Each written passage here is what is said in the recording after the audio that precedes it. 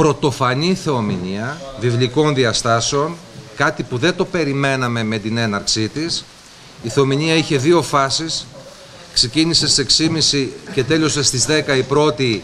Ήδη ήμασταν σε κατάσταση που απαιτούνταν κήρυξη έκτακτης ανάγκης και ενώ είχαμε απευθυνθεί πρώτα στην πολιτική προστασία και στην περιφέρεια, πιστεύοντας ότι είναι δυνατόν οι δυνάμεις αυτές, ερχόμενε σήμερα φυσικά, γιατί χθες το βράδυ ήταν δυνατόν να έρθει κάποιος, ότι θα αντιμετωπιστούν, ενέσκυψε το δεύτερο κύμα από τη μία μισή περίπου μετά τα μεσάνυχτα μέχρι τις 4 τα ξημερώματα, με τα αποτελέσματα που όλοι είδατε.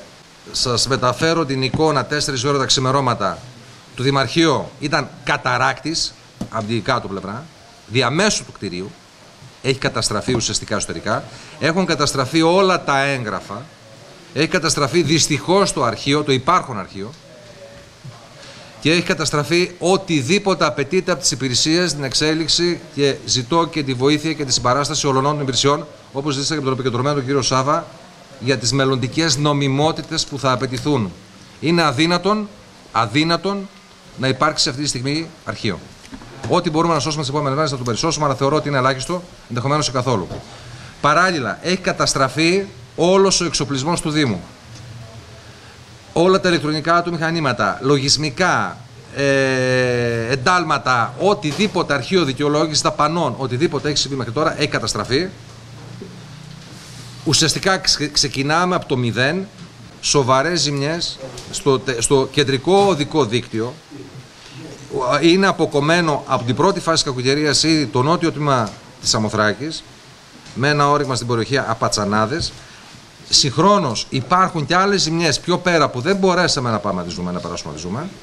Στην περιοχή Ξηροπόταμου και Μακριλιών υπάρχουν σε διαβάσεις ιρλανδικού τύπου μέχρι την Παχιά Άμμο απίστευτες ποσότητες με υλικών, φερτών υλικών που κλείνουν τη διαδρομή στους επαγγελματίες κτηνοτρόφους και αγρότες για να πάνε στις δουλειές τους και είμαστε και παραμονές έναρξης της ελοσυγκομιδής.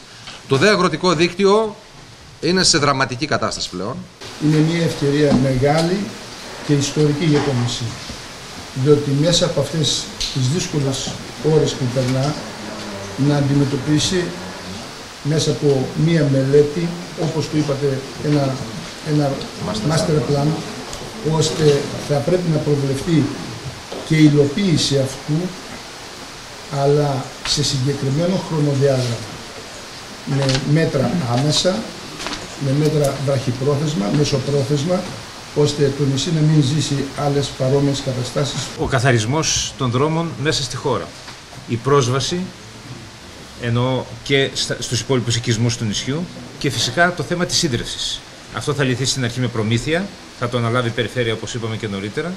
Ε, θα πρέπει να έρθουν μηχανήματα για να καθαρίσουμε τη χώρα και να, ε, να, να λυθεί το πρόβλημα με τη, με τη γέφυρα ή με το, ε, με το πρόβλημα της πρόσβασης σε ορισμένα σημεία, όπως και σε σημεία μονάδων κτηνοτροφικών αν υπάρχουν, που δεν είναι εύκολη η πρόσβαση να ταΐσουν οι κτηνοτρόφοι τα ζώα τους.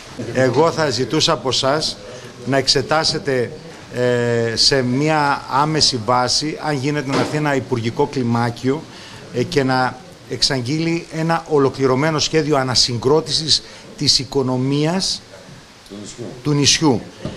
Και η οικονομία και του πρωτογενούς τομέα, αλλά και γενικότερα των επαγγελματιών. Θα σας πρότεινα μάλιστα και είναι η παράκλησή μας αν μπορούσαμε να έχουμε φορολογικές ελαφρύνσεις για όλο αυτό το διάστημα για τους επαγγελματίες του νησιού και ελαμφρύσεις, ε, κάθε είδους ελαμφρύσεις για τους κατοίκους ε, γιατί είναι πάρα πολύ δύσκολη η, το να ορθοποδήσει το νησί αλλά και ο επαγγελματικός κλάδος με τις μεγάλες ζημίες τις οποίες υπέστη.